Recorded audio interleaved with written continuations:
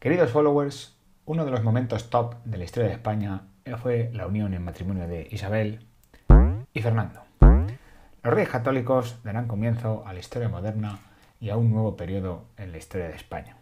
¿Por qué son tan importantes? Vamos a verlo.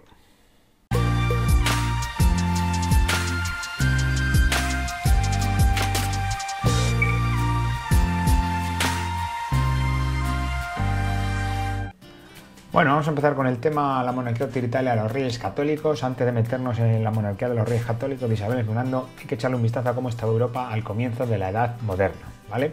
Europa al comienzo de la Edad Moderna, a finales del siglo XV, se caracteriza por una recuperación económica. Tened en cuenta que venimos de un siglo XIV nefasto, con guerras, ¿vale? con hambrunas y con epidemias más letales incluso de la historia, como fue la peste negra. ¿no?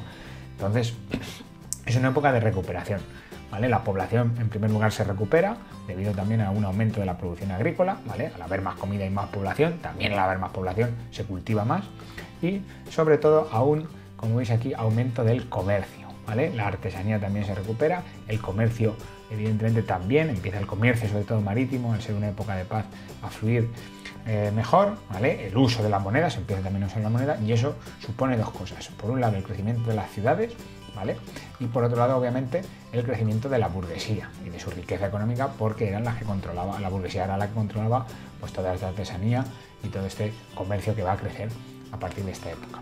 Políticamente vamos a pasar de una monarquía feudal, que era la que teníamos en la Edad Media, donde el poder del rey estaba limitado por la burguesía y la nobleza, a una monarquía autoritaria. Como veis aquí os pongo una flecha hacia arriba porque el poder del rey aumenta, ¿vale? Limitamos, o se limita, mejor dicho, el poder de la nobleza y la monarquía autoritaria significa que hay un mayor poder para el rey, ¿vale?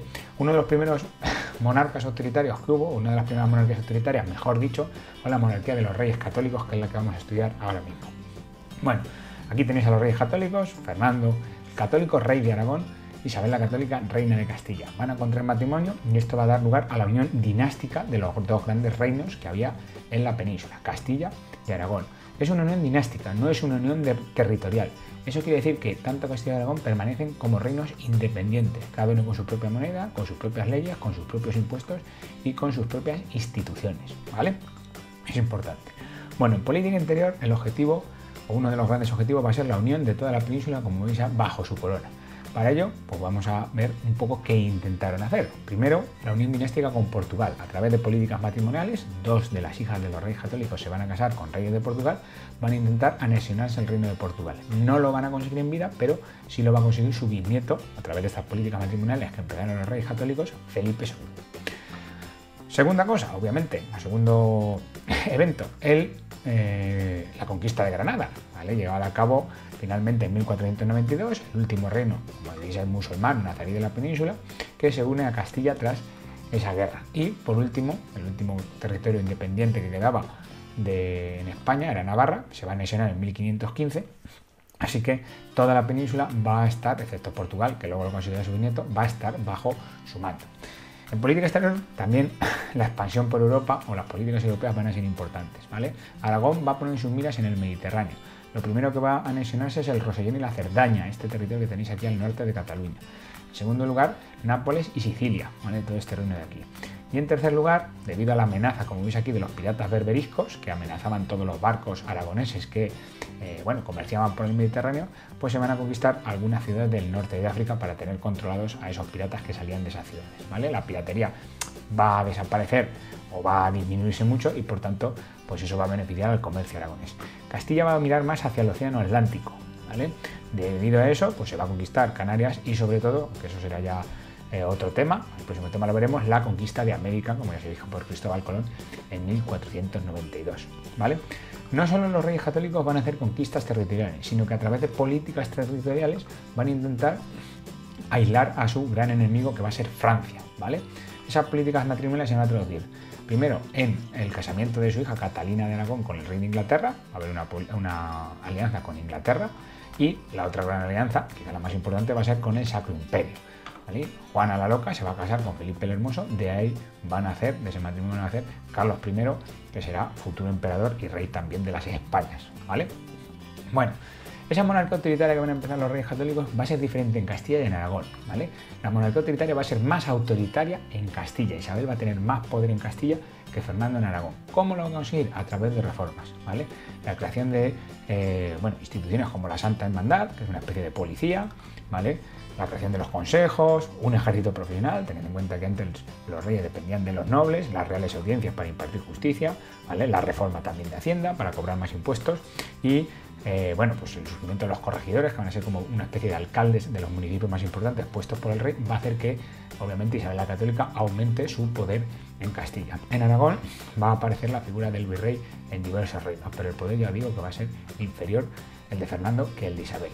Por otro lado, los reyes católicos van a también, una de las políticas clave de su gobierno, una de las, vamos a decir, eh, sí, bueno, líneas de actuación clave de su gobierno va a ser la uniformidad religiosa. Todos sus territorios tenían que estar bajo eh, el cristianismo, por decirlo de alguna manera, el catolicismo, mejor dicho. Eso va a suponer la expulsión de los judíos y musulmanes, quien no se convierta se tiene que ir y, bueno, pues evidentemente la Inquisición que va a estar funcionando a pleno rendimiento para cualquier sospechoso de herejía o cualquier sospechoso de que esos conversos, tanto musulmanes como judíos, pues fueran conversos falsos, es decir, que siguieran manteniendo su religión, pues que fueran juzgados por este tribunal de la Inquisición.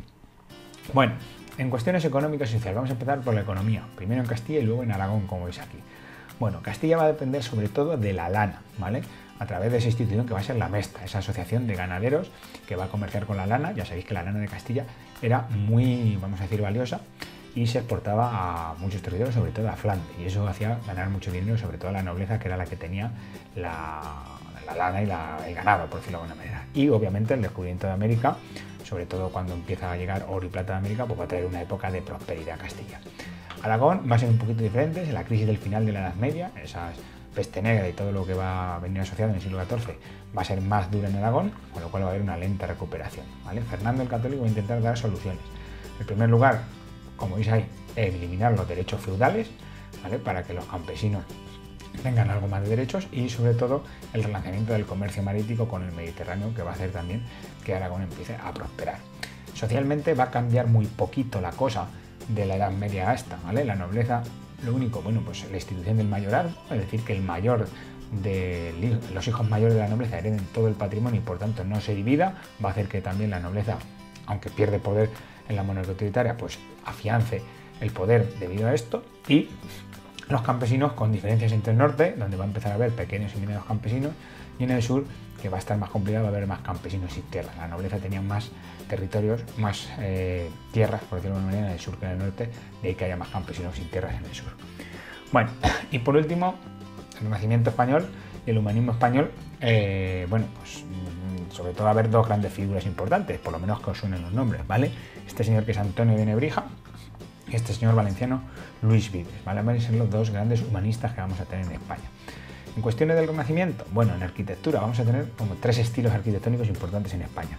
Este que tenéis aquí es el plateresco, ¿vale? Se llama plateresco porque imita el trabajo de los plateros. Como veis aquí en, la, en esta portada, pues es un trabajo más minucioso, mucha decoración, como veis aquí, ¿vale? Este estilo que tenéis aquí, aquí tenéis a Lorenzo del Escorial, es el estilo herreriano, ¿vale? Ya que Escorial lo hizo un, un arquitecto que se llamaba Juan de Herrera. Como veis es un estilo mucho más sobrio, donde predominan las líneas horizontales. Y este estilo de aquí, que se puede ver por ejemplo aquí en el Palacio de Carlos V en Granada, es el estilo clasicista, ¿vale? que se basa pues, en Grecia, en Roma, igual que mm, los estilos arquitectónicos renacentistas que hemos visto por ejemplo en Italia. ¿vale? En cuanto a la escultura y pintura, bueno, la escultura se lleva mucho la imaginería en España en esta época, ¿vale? Va a haber muchas imágenes eh, y sobre todo, como veis aquí, pone expresar sentimiento, ¿vale? La cara de sufrimiento, los cristos con mucha sangre, ¿vale? Como veis aquí, recreándose un poco en el, sufrimiento, ¿no?